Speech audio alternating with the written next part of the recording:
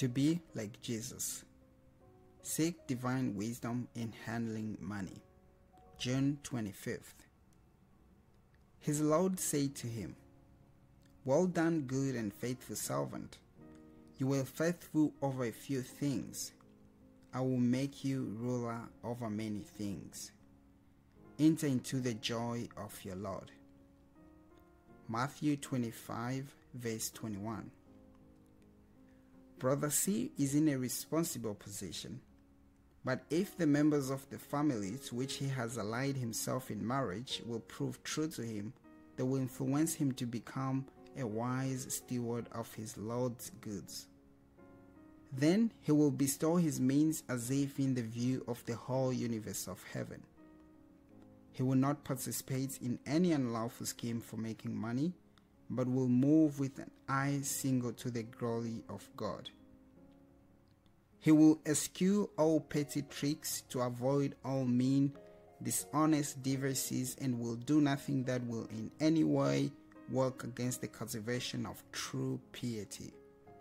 He will realize that all his business transactions lie within the domain of God. We must not lose sight of the fact that stewards are to trade with their Lord's goods and that they are handling a sacred responsibility.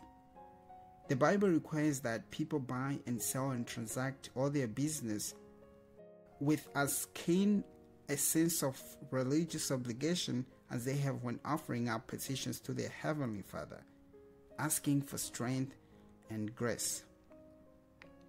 The Lord has not left any to do as they please with their goods, and to give as impulse shall dictate, or as friends may demand. The money they handle is not theirs, and is not to be expended unnecessarily. For the vineyard of the Lord is to be worked, and its working requires the expenditure of means. Now is our day of trust, and the day of reckoning is yet to come.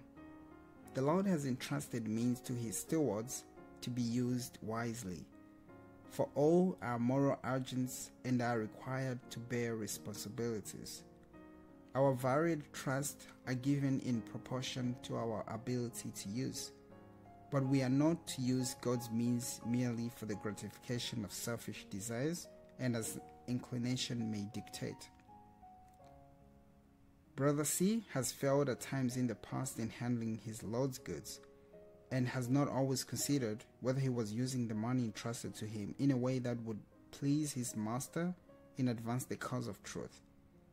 He must give an account of how he disposes of the means given in trust to him. He cannot study his own will in this matter. He must seek wisdom from God.